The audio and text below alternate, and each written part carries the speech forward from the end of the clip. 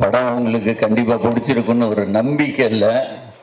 ரிலீஸுக்கு ஒரு வாரத்துக்கு முன்னாலே நான் காட்டணும்னு ஆசைப்பட்டேன். அது எனக்கு திருப்தியாக இருக்குது உங்களோட ரியாக்ஷன் பார்த்து. இந்த படம்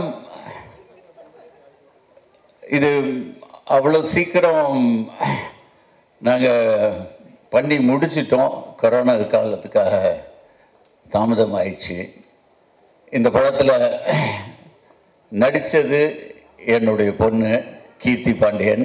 ப்ளீஸ் என்னென்னா நார்மலாக ஒரு அப்பா பொண்ணு ஒரு படத்தில் நடிக்கிறாங்கன்னா பல அபிப்பிராயம் வேறு மாதிரி இருக்கும். ஏதோ பூஸ்ட் பண்ணுறதுக்காக நான் உண்மையிலே பார்த்திங்கன்னா பதினெட்டு வருஷம் கழிச்சு திரைக்கு வரேன். நடுவில் ஒரு சின்ன சின்ன படங்கள் பண்ணேன்.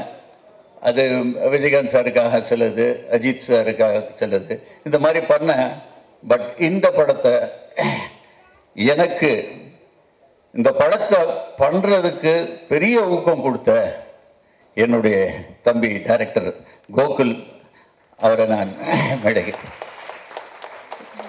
ஏன்னா நார்மலாக நம்மளுடைய தோற்றமே ஒரு அடிதடி அப்படின்னு இருக்கும்.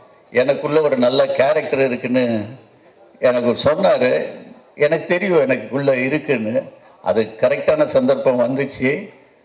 நான் நினைக்கிறேன் அது நான் சரியாக தான் பயன்படுத்தியிருக்கேன்னு. இந்த படத்தில் ஹீரோ தென்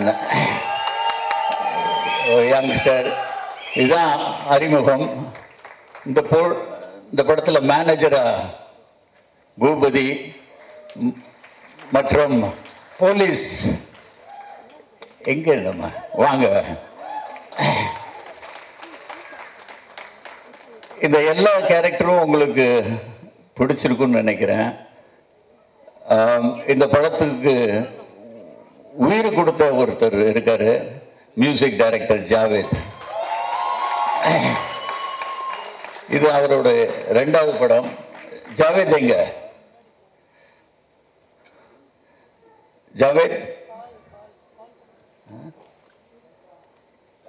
இந்த படத்தில் லிரிக்ஸ் எழுதின லலிதா ஆனந்த் எங்கே இருக்கிற ஒரு